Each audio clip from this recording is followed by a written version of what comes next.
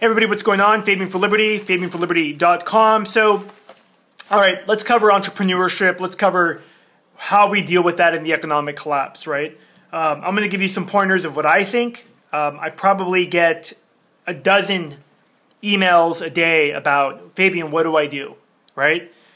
Um, I saw this, the reason I wanted to do this video is because I saw this article um, in the, uh, the uh, what's it called? LA Times and it was basically saying how a family's path veered. And it's talking about this family and this lady who was an eighth grade English teacher and basically had you know all these goals that she had set for herself, which was all great. She was going to travel to Africa and be you know an assistant charity work, all this stuff. She was just finishing up her divorce, all this stuff. But then uh, the crisis hit. It says here that. Um, when the financial uh, crisis struck in 2008, she was abandoned. It abandoned her dreams. And these days, she's just trying to hold her family together. Five people squeeze into a thousand uh, square foot house because they can't afford to live anywhere else. She's supporting her ex husband, their daughter, an unemployed son in law, and a grandchild. But here's the important, interesting point. They kind of throw into this mix a lot of propaganda. This is the LA Times, mind you.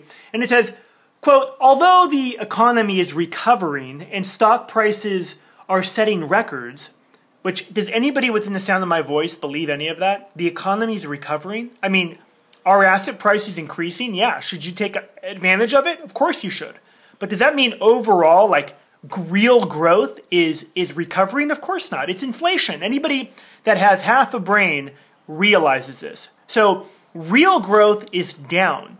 The growth they report, uh, the government reports, uh, which is abysmal even with the inflation being created, is just that inflation. I'll give you the best example um, that was taught to me by a few of my you know, people that I look up to in this area, which is if, you know, 20 years ago, you had a company that was building um, 10 widgets and they were selling those 10 widgets for a dollar. Well, that was their production then.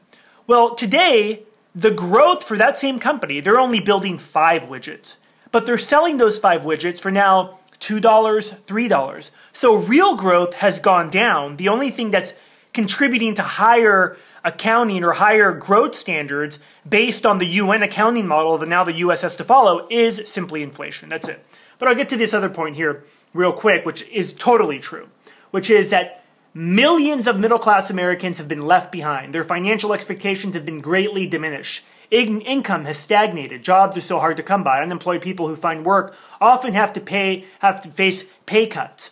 The hardships cut across all age groups. Young people are saddled with student debt and have a hard time finding jobs they want after college. Mid-career workers are supporting their grown children and aging parents while worried about their own finances. The article goes on and on. You can find it at the LA Times. So what do you do about it?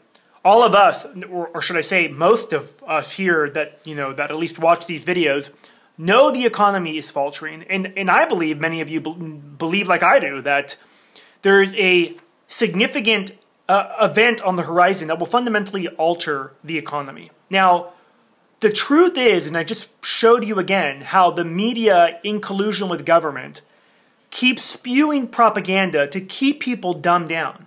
They don't want people to know about inflation. They don't want people to know about quantitative easing. But at the same token, they don't want people to know about entrepreneurship.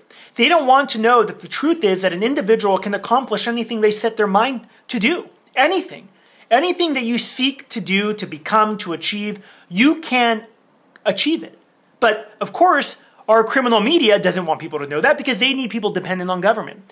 They need people dependent on this false notion that the only way you can get ahead is by either voting for Republicans or Democrats or hoping that they fix the economy. Well, what about this? What about fixing your own economy? Now, I, um, I do it through real estate investing. I've been a real estate investor for 12 years. Um, I've helped thousands of other people become real estate investors that were totally clueless about real estate investing because the truth is you can start with no experience. And if that's something you're interested in, you can check it out at resourcefulrealestateacademy.com, resourcefulrealestateacademy.com. Uh, and it's a whole program course DVD. People that actually purchase that get access to communicate with me, which I email with them, trying to help them become an entrepreneur. But like I've said in the past as well, real estate may not be for you, it may not be for everyone. There's a ton of just false premises and myths about real estate investing, and I've heard them all, especially since I've been doing these videos and talking about this program. But again, it doesn't matter whether it's real estate investing, whether you decide to invest in my course or whatever. But I am at a point where I have, you know, kind of developed a, uh, a um, reputation for myself, not only in the real estate industry, um, uh, but just, you know, with, with, with, people knowing that, look, I'm telling people there's an economic collapse coming, uh, that there is a fundamental reset of this economy coming. And there's some people that I, you know, hedge fund managers that have heard this argument that I've made in closed door meetings that have said, you know, Fabian, that makes a lot of sense. Others that think I'm crazy. Uh, others that watch my YouTube videos and they're like, this dude is totally nuts. Because if you Google my name, I'm out there, okay? First thing that comes up is boom, Fabian for Liberty. I'm not hiding it, okay? I'm totally, this is who I am, all right? I've, my career's been affected by it. I mean, you know, I think mostly now it's positive because a lot of the things I've been talking about for the last year with respect to the pump and dump is coming uh, to fruition exactly how I said it would.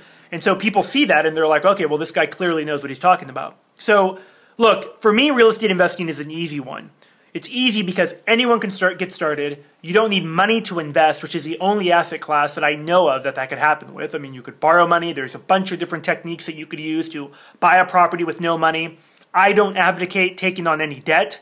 I don't advocate you holding the real estate long term. In fact, everything that I advocate, I mean, all those other points are other real estate tactics that you could use depending on your comfort level. I mean, I take on some debt um, that I think is good at that because I'm buying properties at 75% below market value. Even if markets collapse by 75%, I would still be able to sell the property and, and walk away from it.